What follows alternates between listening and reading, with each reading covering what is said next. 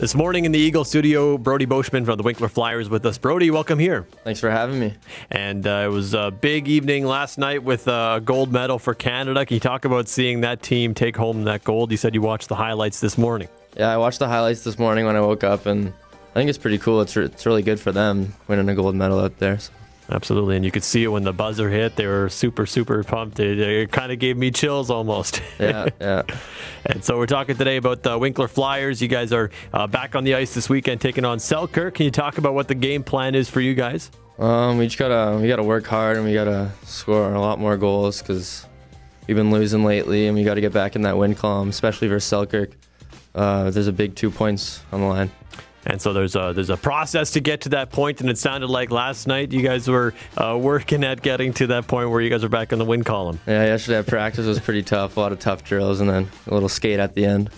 There we go. So they kind of worked worked you pretty pretty hard. Now you're tired, but you still made it at 7:30 in the morning Yeah. on a day off, no less. Yeah.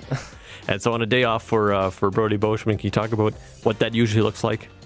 Well, I'll probably usually sleep in a little longer than I did today, and then wake up, maybe go to the, the rink, get a workout in, or hang out with some buddies, go watch a movie or something.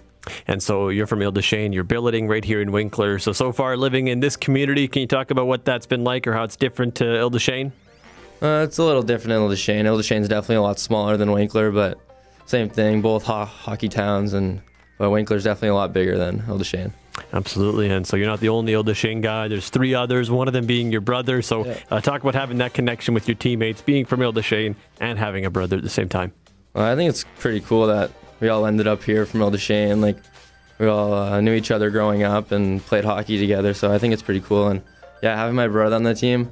At the start, we uh, weren't too sure how it would go, but I think now it's pretty cool and something we'll never forget. Yeah, and so uh, being all from de from what I've heard from de is it's kind of a hockey town in the way that uh, when there's nothing to do, people are out there on the ice uh, outside playing. Yeah, definitely. If you're not playing on the indoor rink, you're on the outdoor rinks, just always playing hockey. And so with the Winkler Flyers, it's not only on ice stuff, it's also uh, doing stuff off the ice, whether it's uh, coming here for an interview or uh, putting on a, a lunch or doing some volunteering. Can you talk about what that off ice stuff has been like for the team? I think it's pretty cool. It definitely gives our team a lot of recognition. Or when you're going to help out with the the younger kids, I think it's pretty cool. It's something they won't forget. Absolutely. Well, uh, Brody, thanks so much for coming in today and, and, and talking to us. Yeah, thank you for having me.